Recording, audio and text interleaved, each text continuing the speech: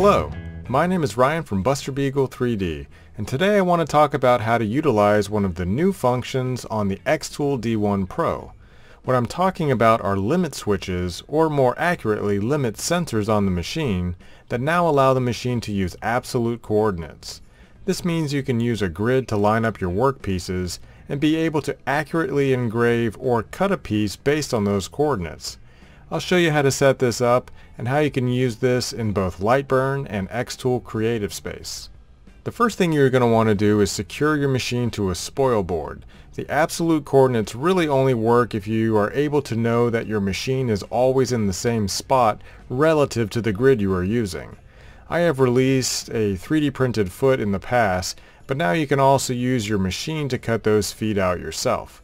I have a file that I cut out of 5mm plywood and then attach down to a 2 by 2 foot spoil board. Now my machine will not move and once I burn the grid pattern on, I can remove the machine and put it back in the same spot the next time I want to use it. So now on to the grid patterns. I actually have made four grid patterns and this is for two reasons. The first is that the 20 watt laser is much larger than the 5 to 10 watt laser, so the 20 watt has a smaller work area due to that larger size. The work area of the 20 watt is 10 millimeters shorter in the y-axis, which is reflected in the different grid sizes. The second difference has to do with the rotary attachments sold by Xtool. They currently sell two different rotary attachments for the machine, the original rotary and the RA2 Pro. These grids have a section that helps with the lining up of those attachments. If you look at the bottom left quadrant, you will see something that either says Rotary Tool Attachment or RA2 Pro Attachment. The way this works is you line up the front of the rotary attachment you have with the line that corresponds to the rollers that you are using on the rotary attachment. When you do this correctly, it should line the center of the cup or tumbler or whatever else you are engraving on with the center of the grid. That way you can use absolute coordinates to move the laser to the center of the grid and always know that you have it aligned with the highest point on the cylindrical object you are trying to engrave. Now the reason there are two different versions of this is that both of the rotary attachments have slightly different dimensions, which means that they both don't line up in the exact same spot, hence the, the two different versions of the grid. So one more thing about the grid before going into how to burn it is that you may have noticed that the grid is slightly smaller than the advertised work area of the D1 Pro. And this is also because of two reasons. In my testing of the D1 Pro 20 watt, I found that if I tried sending my laser to the 430 millimeter mark on the x-axis, I would trigger the limit sensor alarm. I actually found out that I could send the laser to 429 but not 430 millimeters without triggering the sensor. Now you can go into the Xtool Creative Space software and turn off limit switches so you no longer trigger the alarm, but then you still have to deal with the second issue, which is that the air assist on the 20 watt version will run into the wires that you have mounted on the frame.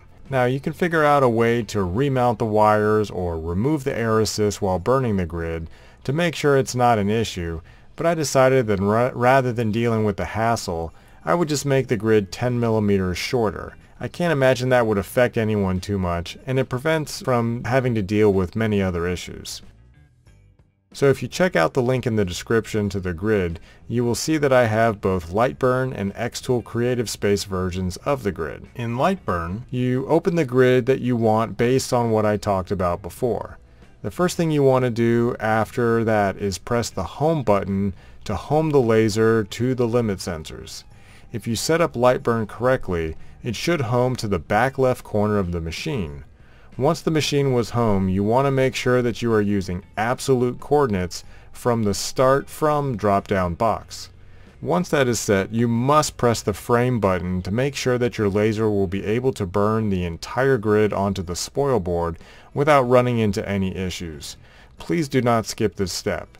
In fact, it doesn't hurt to do it twice just to make sure that you are okay. Be careful in the top right corner and make sure the wire doesn't get in the way.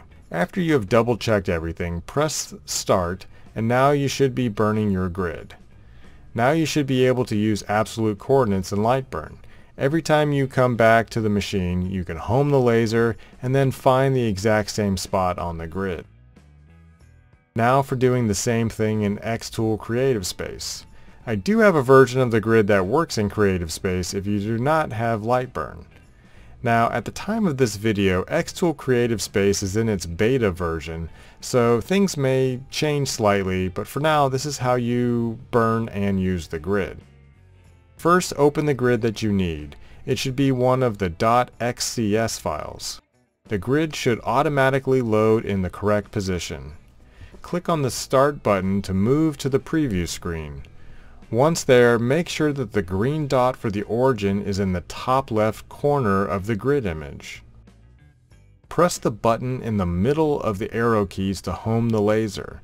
After the laser is home to the top left corner of the machine, you should test to make sure there are no issues with engraving by pressing the framing button. This will frame the grid on the spoil board to make sure you won't have any issues when burning the grid. Once you have determined everything is okay, you can click the Start button to start to burn the grid onto the spoil board. Now, when using absolute coordinates in Xtool Creative Space, it can be a little tricky. Again, with the beta version of this software, there are no settings to specifically tell the laser to use absolute coordinates like there is in Lightburn. So if you were to try to burn an image in this software and hit the start, you only have the option to tell the software where the laser will start in relation to the image. You can't currently tell the machine that the laser is at the home position, but you want the image to start burning at the X210 by Y200 position. You can only say that the current position of the laser is at the top left or top right or whatever of the image. So the way around this was I created a file called absolute coordinates. And all this file really is is a small square in the top left corner of the work area.